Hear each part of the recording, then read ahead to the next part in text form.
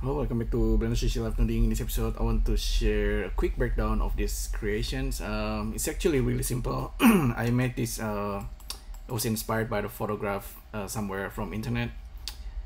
Um, so I rendered this currently using Nishita Sky Texture. Uh, this is, I think, Cycles. Um, yeah, it's pretty simple. Um, okay, so let, let me explain. So we have just a simple cube and a plane as the floor. This simple cube, I turn it into this kind of uh, simple pattern, slightly random, but uh, still looking kind of nice, especially with the shadow uh, that's being reflected. Okay, so I just have to stop playing that. So, um, how did I create this? Let's see. So there are basically two parts of this model. The, the bottom part, the pipe, the base, and then the, the rooftop. And I'm using a lot of instance here, but the basic part is basically this uh, horizontal or vertical lines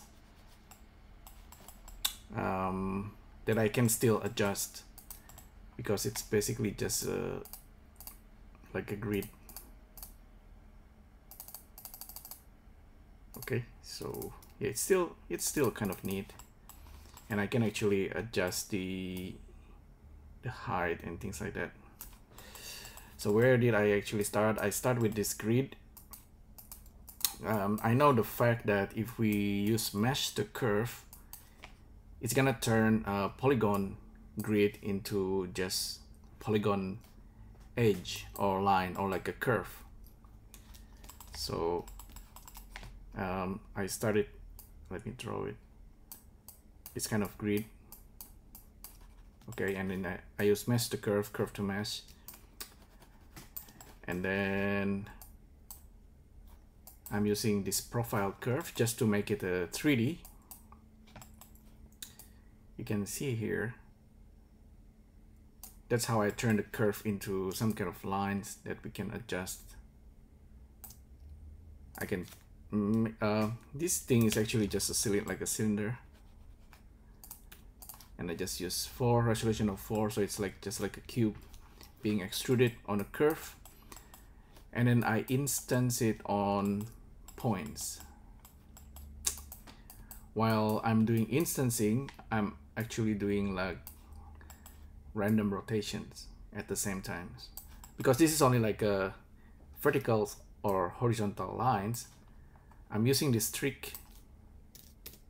So we have like a like a 90 degrees rotations, more or less. So I'm kind of cheated there.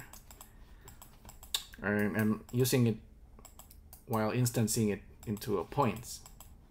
And there's all these kind of uh, numbers that's if we want to change the the instancing of this object we can change change this number.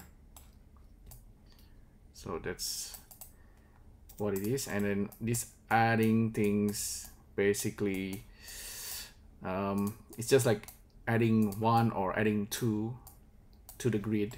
So they're correct when we change this parameter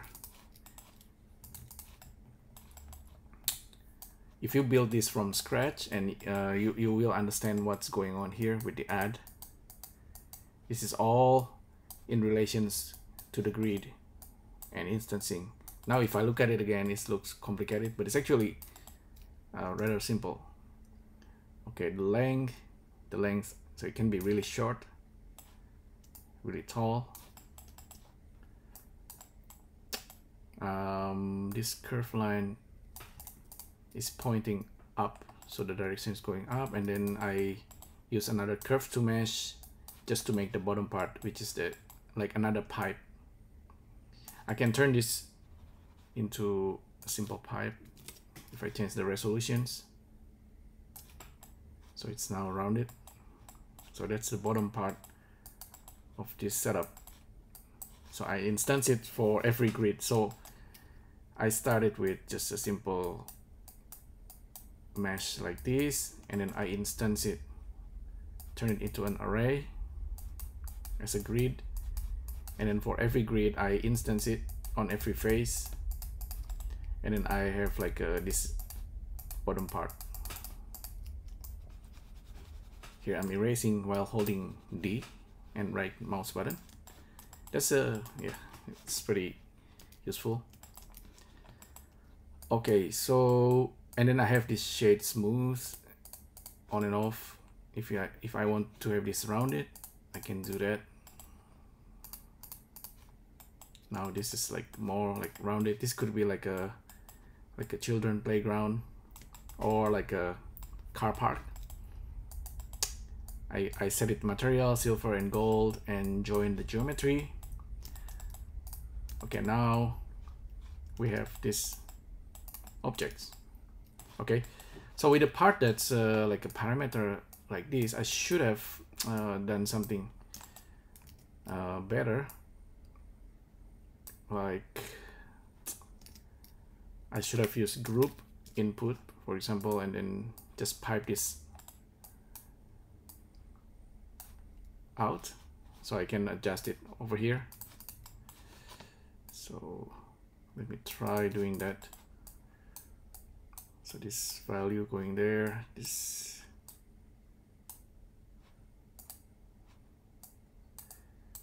there must be a better way to just replace the value.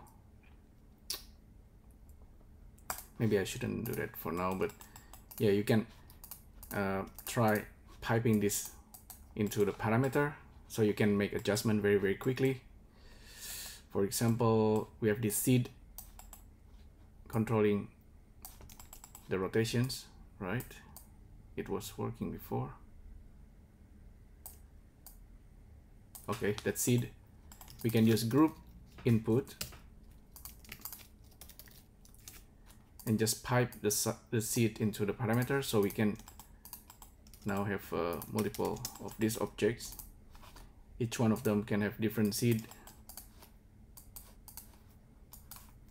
So that's kind of nice feature of geometry nodes. And then we can now have this nice pattern.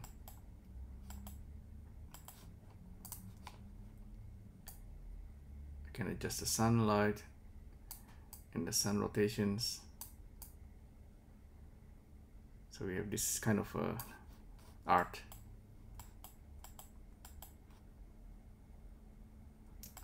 okay. So and uh, with this setup uh, there's one node that's really important is this one. Realize instances.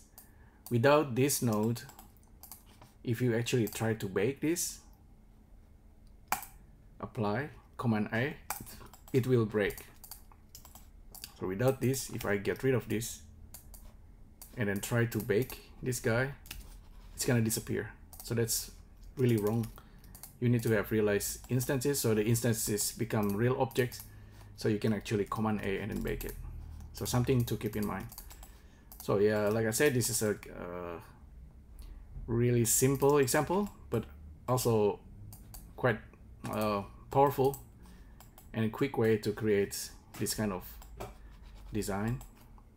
It's a grid pattern basically, but uh, with just simple rotations and then randomization, we get this pattern. So that's kind of neat.